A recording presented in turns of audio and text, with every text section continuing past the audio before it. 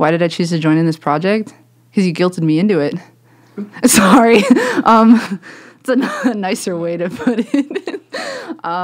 So, how how I got uh, involved with the project was I was sitting down, I think at Music and Arts, and I was just mentioning he was working there at the time, and he said, "Hey, I want to work on a project.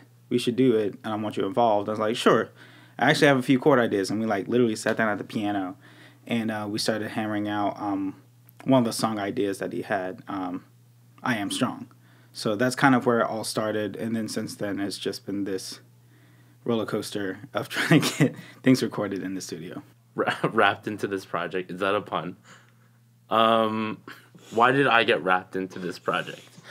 Um, I, you know, I, I'm always looking for opportunities, and I've been I've been kind of doing my own thing with rap music and hip hop for the past like four or five years now.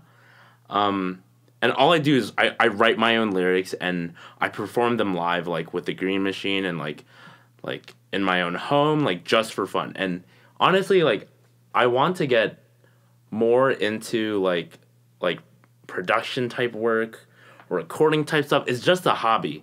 And I just don't know where to look or necessarily who to ask and how to go about it besides google.com. So I guess like this is like, you know, a good entryway into that sort of venue.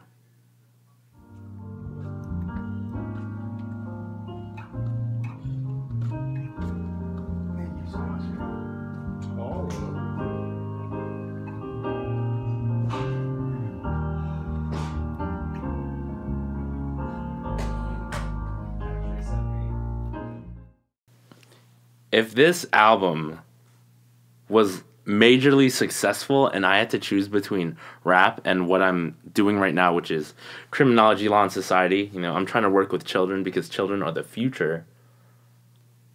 That's that's a tough question because literally when I put school aside, everything I dedicate my time to is writing lyrics and listening to songs and listening to music and just like hearing other people play music, even though like it's not it's nowhere close to what I'm focusing on while in school and I'm I'm graduating in a couple months. So I don't I don't know. I don't know is my answer. Yeah, I don't know.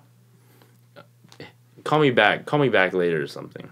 Um, I'm really excited to see where it goes because like everyone involved is a really talented musician, and I'm learning a lot in this process, like from everyone around me, which I think is really cool.